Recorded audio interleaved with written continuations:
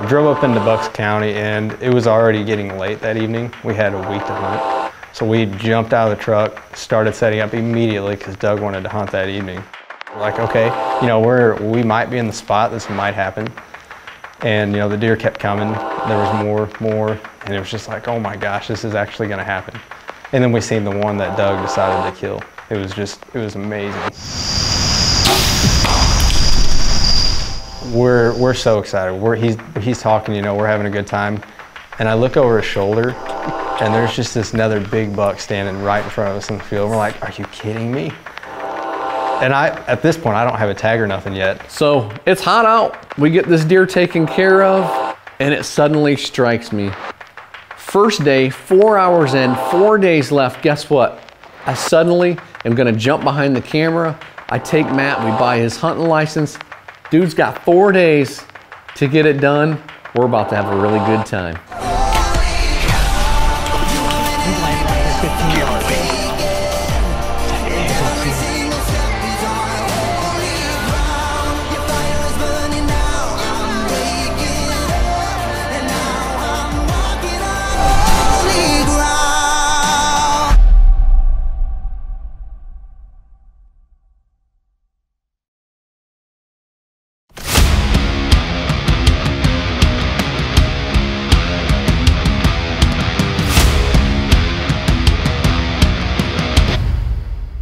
Day two in Pennsylvania. We're gonna go back to the same spot where Doug shot his buck last night. Um, after he shot his buck, there was some deer that was still in there. And we're still on an emotional high because Doug just shoots this deer like, okay, it's probably gonna happen tonight. Like, we're not even gonna have to put no effort into this. They're, they're just gonna come out and we're gonna seal the deal.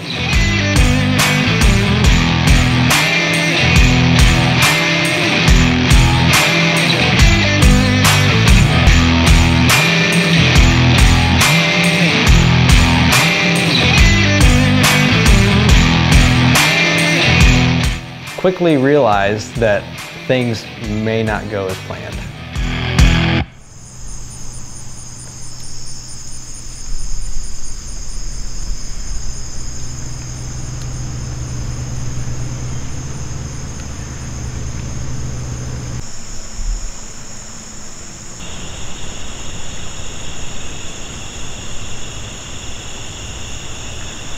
As the evening progressed, the deer never did show.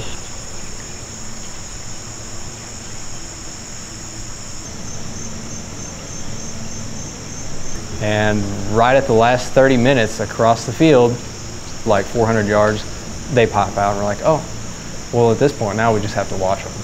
And at that point it's, it's dark, no camera light left and we're just sitting there. Nothing we can do about it. We're just, we're just watching them.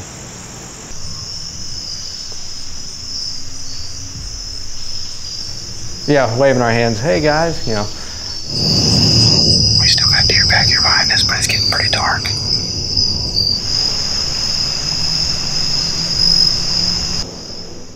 And that was pretty well the end of the second evening for us. Established in a small town in 1981, a company that produces quality products that archers have come to rely on. I started shooting with a Scott release and have passed the tradition on. My dad always told me never forget where you came from. Well, I haven't. Shoot with confidence. Shoot a Scott.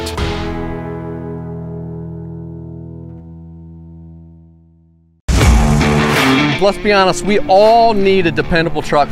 And when you buy a car, you want to feel like you bought it off somebody that you can trust. And I've always felt that way, honestly, with all of my heart, coming here to Vanderveer Chevrolet. Our trucks come with a warranty forever, car washes for life. So when you're out there in the mud and you get a little dirty, you can bring it on down, drive it through the car wash. Leaving with a smile on your face, knowing you got that good deal, and knowing that if something happens, you have that peace of mind with that lifetime warranty. With what I do and who I am, my integrity, I want it to be respected at the highest level. And I know with the customers that I send here, yep. they all call me and say, you sent us to the right place. And that's what Vanderveer Chevrolet is for us. This is the right place. Hey, we'll be glad to help you out and treat you the same as we do Doug. We want to do the same for you.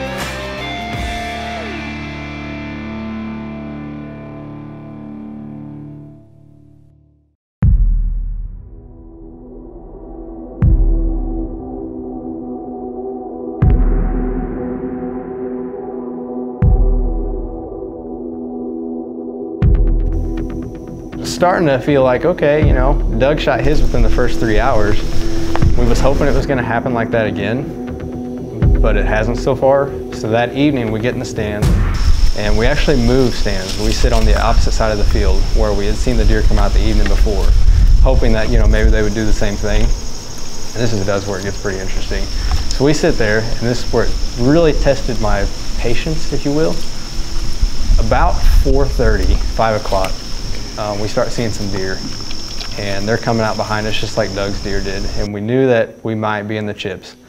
And about six o'clock, 6.30, some deer start piling out in the bean field in front of us. And a buck that I wanted to shoot, that I had my mindset, he appears. And he's coming and we're like, okay, third day, that's, we're gonna get this done. And what does he do? He skirts this wide and stays within 70 yards. That's out of my comfort zone shooting. And we have to sit there the rest of the evening and just watch him feed in front of us. A little bit of defeat, honestly. Kind of like the season before, you know, we're so close. We had the deer in front of us, but he's just out of range. It was almost like a tease, like, yeah, we're, we're gonna put the deer in front of you, but we're not gonna let you kill him, you know. We go home that evening and Doug's kind of calming me down. He says, man, don't worry about it, it happens. Um, we just kind of regroup. Day number four, we're, uh, we're gonna go ahead and hunt in the morning. Normally we don't hunt mornings, you know, early season, but kind of getting down to the wire, so we're gonna go ahead and try. We set up a game plan, and the way that deer did, he come out and he kind of was on the edge of the bean field, so we set up on the edge of the bean field hoping that he would do the same thing. My thought was we'd come in here early this morning, slip in here, and maybe we'll catch him coming out of the corner into this bedding area. We didn't bump any deer coming in that we know of, so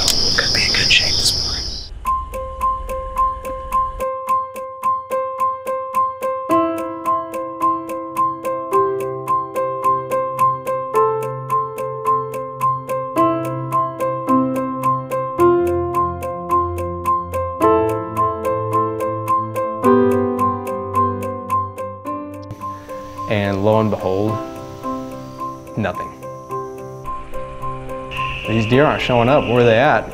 They're not here.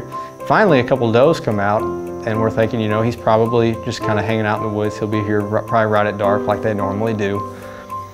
And sure enough, I kind of glance out on the, on the other side of the field where Doug had killed his deer, we had been sitting the, the whole couple nights before. And he's standing there 25 yards in front of that stand where we had been sitting the whole trip with another buck. And at that moment, we're just like, let's, let's go. let's go home. Pennsylvania. And knowing that Doug had killed his deer, still on that high, but at the same time, I just got done hunting three days and never filled a tag. So going into the start of Missouri season, really hoping that, you know, something happens for us.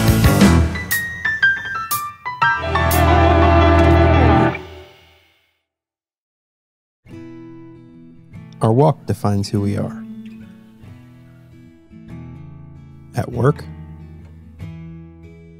at home, and in the field. And just like our walk, a company is defined by its walk, a walk that is made by its people and its products. All of our targets are made in the USA with 100% recycled materials, designed to withstand thousands of shots with one of the easiest arrow removals in the industry. The only thing that surpasses the quality of our targets is the quality of the relationships we build with our customers. When you purchase one of our targets, you become part of a family. Welcome to the Walk On Archery family.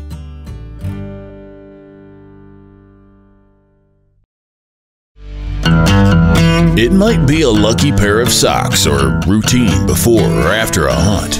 Whatever it may be, trust that hunt to the most shootable and efficient bow ever developed. Honor the ritual.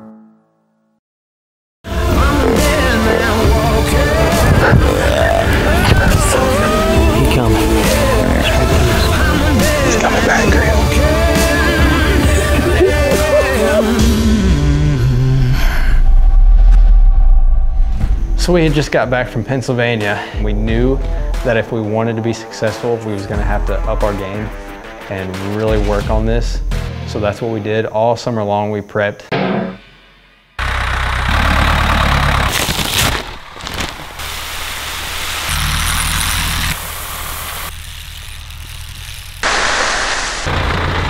Right here we got the crew, we got Ben behind the camera and uh, Lloyd on the tractor. We got this two acre food plot here we're trying to get done today. We're gonna finish getting seed sowed.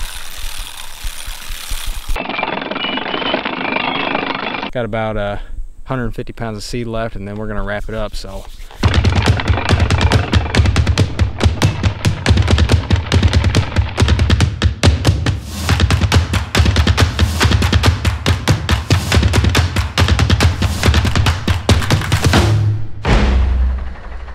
We put in the work, put the food plots in, made sure that we had our stands hung in the, the most optimum place, and that's when things started, you know, changing for us.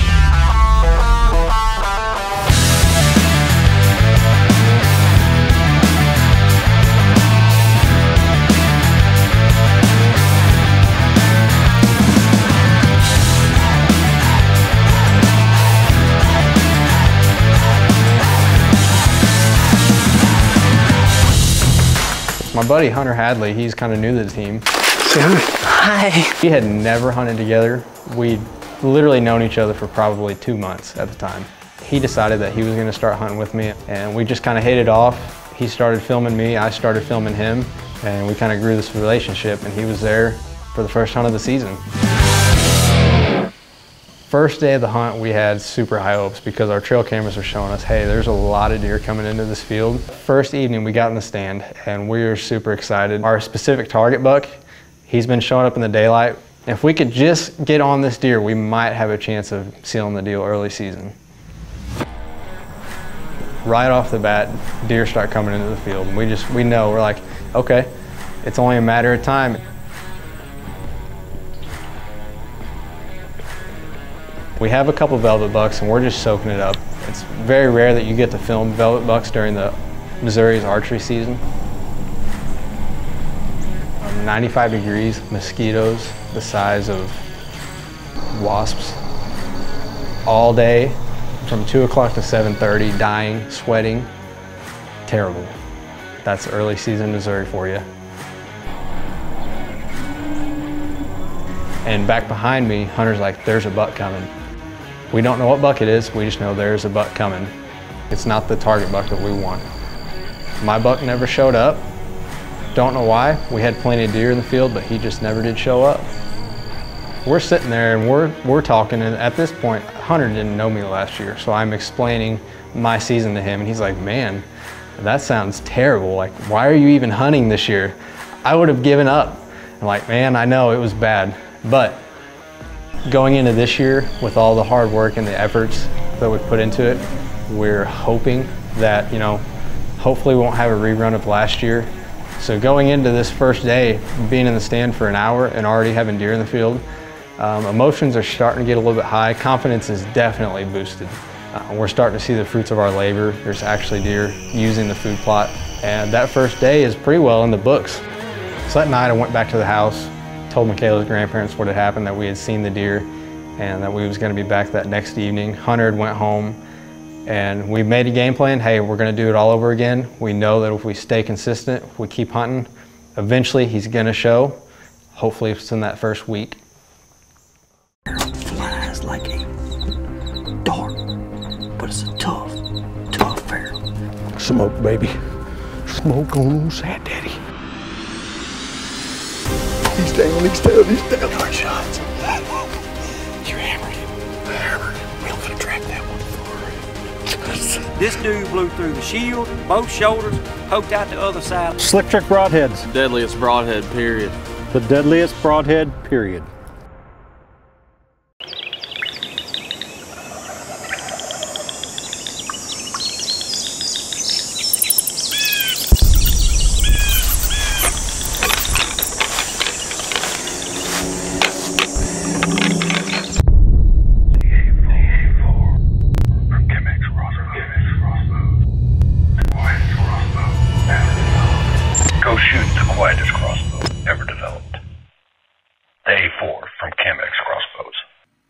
Established in a small town in 1981. A company that produces quality products that archers have come to rely on. I started shooting with a Scott release and have passed the tradition on. My dad always told me never forget where you came from. Well, I haven't. Shoot with confidence. Shoot a Scott. So that next evening, Hunter gets to the house and we're talking about what we want to do. We decide we're going to go ahead and go back to the food plot again. We tried it, jumped in the stand, and instantly, it wasn't 30 minutes, deer started showing up again.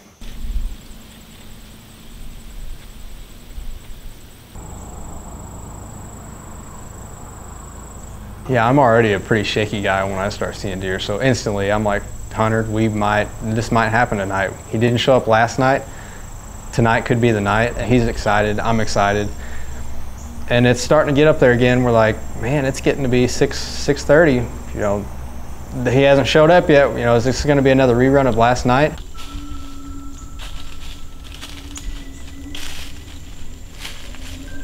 And all of a sudden, out of the corner of my eye, I say, Hunter, here he is right here. And he just appears out of nowhere in the food plot. And at this point, I can't even hardly keep my emotions together. My bow's going crazy. Everything's just shaking. I'm sure Hunter can feel the tree shaking. And this deer comes out, and instead of stopping, takes off completely to the other end of the field. We're like, what is going on? Like, we just had this happen in Pennsylvania, and now it's gonna happen again the second day of season here in Missouri? You've got to be kidding me. This deer's not going to come back. It's over. We're just going to have to sit here and film him and, and hopefully that we don't bump him out of the field. And it's last light. I mean, he's telling me, hey man, if it don't happen here in the next two or three minutes, uh, camera light's over. We're to have to pack it up. Like, you've got to be kidding me.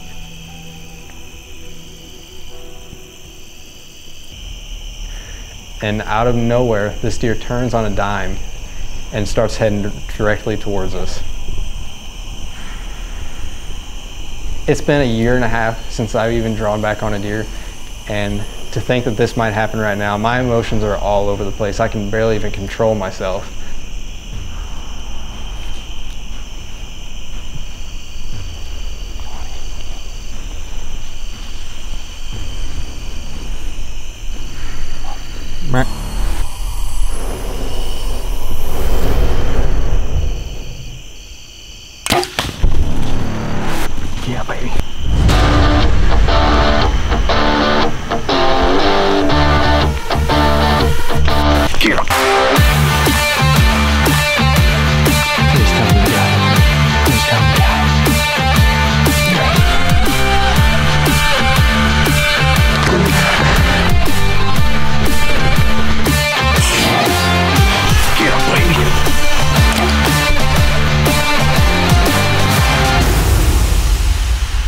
It's all about right there. The ritual, man.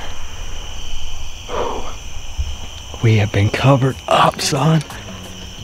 I've had that deer on the trail camera all summer long. I knew that was the one I wanted to take. Had him behind us at 15 yards. I thought it was I thought it was done because he looked up at us. Stepped out. Oh man. Oh my gosh, dude. That raptor trick just ate him up. Oh my god. Dude, I'm shaking like a leaf, man. That's my biggest bow buck. instant just it's like a peace come over me it's like finally after a year and a half of struggling the second day of season in missouri and your work just paid off Doug is gonna freak out, man. Dude, it's it's last light here. Yes. Well, I got you on speakerphone because I just smoked him. Did you really? Yes. 22 yards, man. No way. Uh, yep. The Lord is good all the time. My, my whole trip, man. Everything that is just the icing on the cake. It was Good job, bro. Crime scene here. Got a complete pass through at the raptor trick. I'm gonna leave this here and we're gonna try to get on a blood trail, see if we can't find this thing.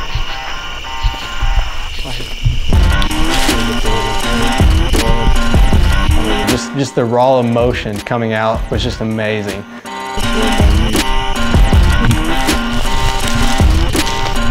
God was definitely teaching us a lesson here because the year before we struggled and we struggled and we felt like we could never gain any traction. And it taught me that if you don't put any effort into what you're doing and work into it, your outcome is probably going to be the same. And the same thing as soul searching. If you don't put any effort into it, your outcome is probably going to be the same. So going into that season, we knew that if we wanted to be successful, we was going to have to put in a little bit more work. Dude, that raptor should open him up. Oh Maybe you're in a season like I was in last year and you think that you're trying hard and you think you're putting in your best effort and you're still not seeing the results. You got to just keep pushing on. If, if you let yourself let go and quit, you're definitely not going to have any outcome. So you got to keep pushing on and, and, and making yourself get up and keep going and keep going and keep looking forward because eventually something's going to change. There's going to be a door open, a light's going to flick on, and everything's going to be different. right here, 15 yards.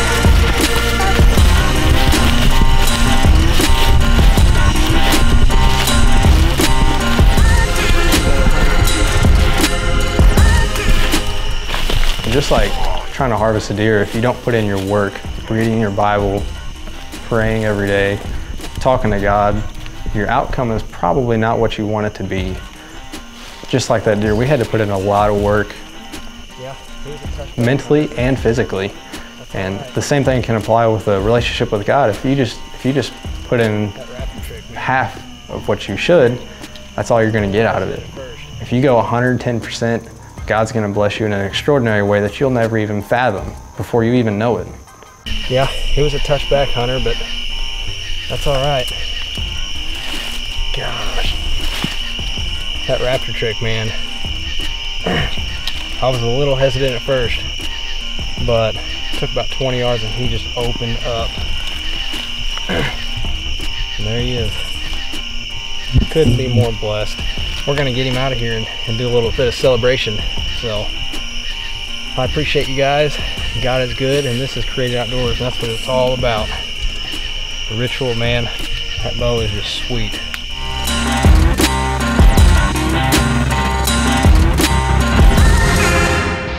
The Chemex crossbow, built like no other. Landed on the scope. On the scope, keep on going. Sighted in out of the box. There you go. That's three dead deer. Oh, cow, dead deer. It's been tested time and time again. Producing the same results. Durability plus accuracy equals Chemex. Thank you, Chemex.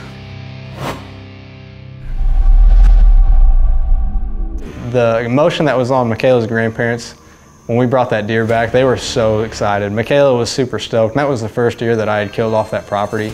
Everybody was pretty happy. Her grandparents, they were always like, oh yeah, he's on a hunting show, he, whatever, this and that. They kind of just blew it off like, this guy, this guy, whatever, you know. So when I killed that deer and we'd be able to show them, it was just kind of, it was kind of neat. And they were like, wow, he's actually doing it. This is really neat. This guy actually can hunt. Yeah, so I mean, we can use the same thing in our everyday lives. Uh, people struggle with marriages, with their career, finances, anything, and you can sit there and talk about it all day long. But if you don't put the effort in to make the change, God's just not going to do it for you. You've got to you've got to put your part of, of the deal in too and put the effort in before you're going to start seeing the outcome. Yeah, so if you were in a place like I was the year before, that's what Created Outdoors is here for. We're here to help. We are a ministry first before a hunting show.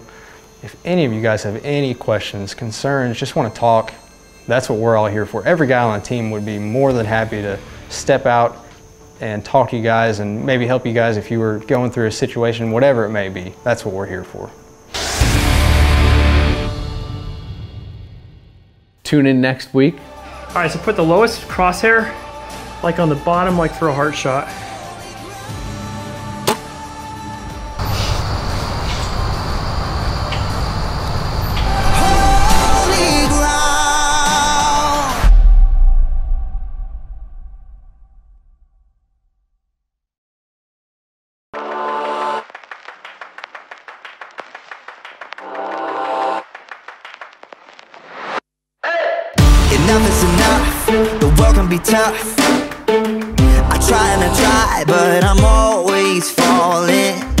Enough is enough, it's time to give up.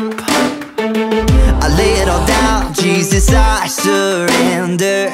Your presence, your spirit is breathing new life into my soul. I'm only free, only alive with my clenching fists. Let go, take my life, take control until my feet are walking